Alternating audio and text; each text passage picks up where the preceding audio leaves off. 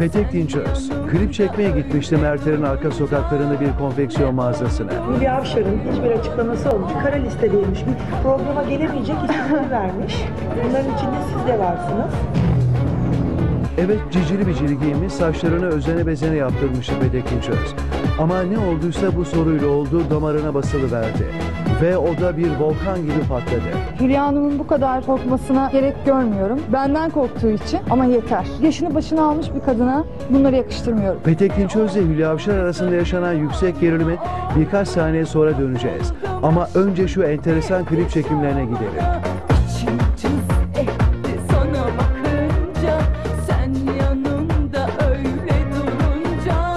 Bir vitrinde cansız manken Petek Dinçöz. O canlı cansız manken yanındaki gerçek anlamda bir cansız manken. Ve ikili arasında vitrinde bir aşk başlıyor. Aşktan korkup kaçmak için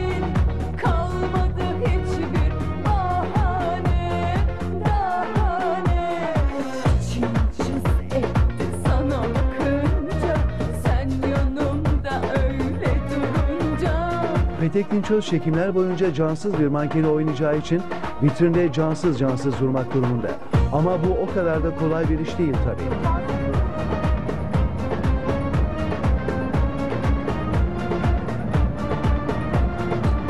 İlk çekim arasındaki molada sohbete başlıyoruz.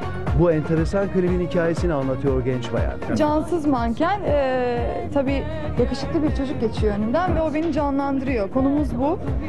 E, bakalım canlanabilecek miyiz? İçimiz cız edecek mi? Göreceğiz. Tatlı tatlı klibin hikayesini anlatırken az önce de sözünü ettiğimiz kontur soru geliyor. Petek Dinçöz'ün sinirleri yerinden oynuyor.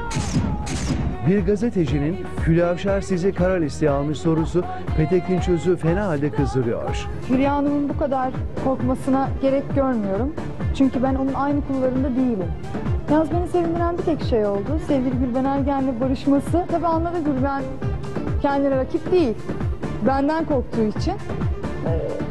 Yakındaki insana herhalde dostluk e, rüzgarları estiriyor. Çok dolu Petek bu konuda.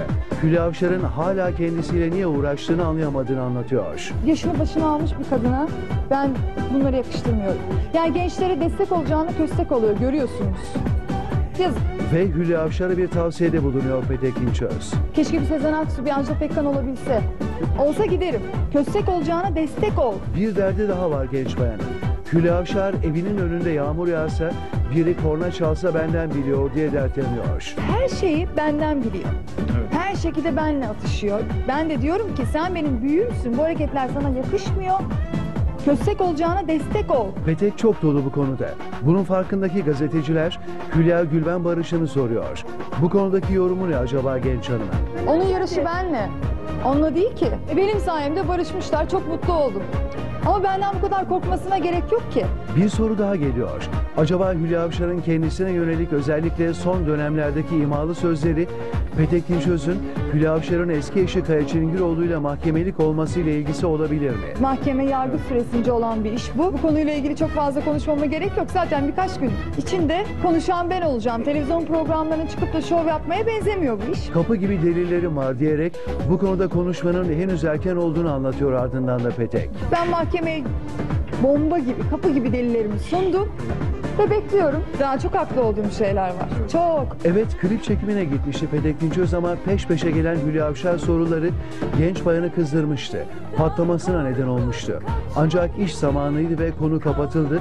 Petek Dinçöz yeniden cam vitrinin arkasına geçti. Klibine kaldığı yerden devam etti. İçim cız